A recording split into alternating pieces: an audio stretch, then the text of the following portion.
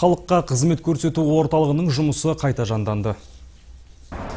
Бұл туралы азаматтарға арналған үкімет мемлекеттік корпорациясы облыстық филиалының директоры мәлімдеді. Бүгінге дейін түрлі мәселелермен орталыққа 5501 қоңырау келіп, 5501 қоңырау келіп түскен. Олардың дені лаңкестік кезінде қарапайым тұрғындардың жеке мүлкіне зиян келтіргендігі жөнінде.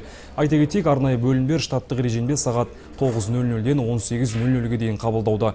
Мұнан бұрын интернеттің жоқтығына қарамастан халыққа қызмет көрсету орталығы жұмысын жалғастырады. Ал мамандандырылған халыққа қызмет көрсету орталығы уақытша жұмысын тоқтатып тұр. бүгінгі таңда халыққа қызмет көрсету орталықтарының барлық қызметтері халыққа қолжетімді тек азаматтарға арналған үкімет мемлекеттік корпорациясының мамандандырған бөлімінен басқа қызметтер қызмет түрлері оның ішінде жүргізуші куәліктерін рәсімдеу және автокөліктерін тіркеу қызметі бүгінгі таңда іске қосылмай тұр